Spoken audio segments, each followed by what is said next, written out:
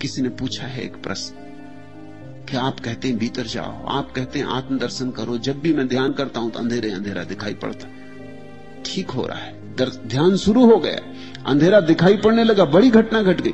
चलो कुछ तो दिखाई पड़ा, भीतर का अंधेरा भी बाहर की रोशनी से बेहतर चलो कुछ तो हाथ लगा, अंधेरा सही, आज अंधेरा हाथ लगा है। कल रोशनी हाथ लग जाएगी, क्योंकि अंधेरा और रोशनी दो नहीं। अंधेरे से जब ठीक से पहचान हो जाती तो रोशनी बन जाती। अंधेरा रोशनी ही है जिससे हम अपरिचित हैं। तुमने देखा ना कभी कभी तीव्र रोशनी भी अंधेरा मालूम होती। सूरज की तरफ़ देखा कभी क्षण भर को? और फिर चारों तरफ़ देखो, सब अंधेरा हो जाता।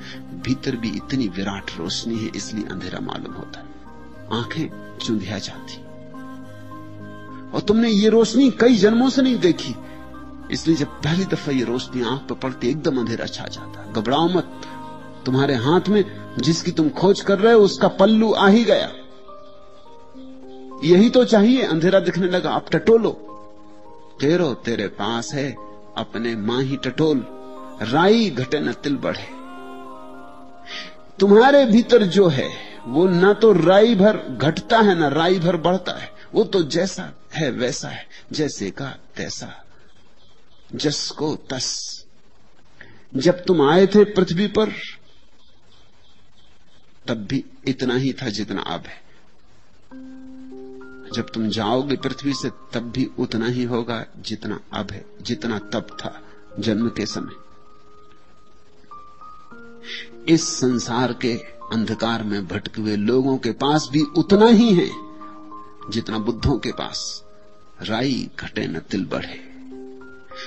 परमात्मा के संबंध में हम सब समान अधिकारी लेकिन कुछ हैं जिन्होंने अपने अधिकार को पहचान लिया और परम आनंद में विराजमान हो गए, और कुछ हैं जिन्होंने अपने अधिकार को नहीं पहचाना, भीख मंगे बने भीख मांग रहे। ये प्यारा वचन राई घटे न दिल बढ़े। न कुछ घटता न बढ़ता। न कुछ पाना है, न कुछ खोना है। जो है, जैसा है, वैसा ही जान लेना है। हरि बोलो, हरि बोल।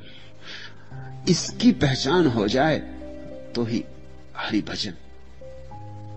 ये जो राई ना घटता, ना बढ़ता, ये जो तुम्हारे भीतर बैठा, जो टटोलने से ही मिलेगा, इसकी मिलन हो जाए, इससे पहचान हो जाए तुम्हारे हाथ लग जाए, तब एक हरि बोल उठता है।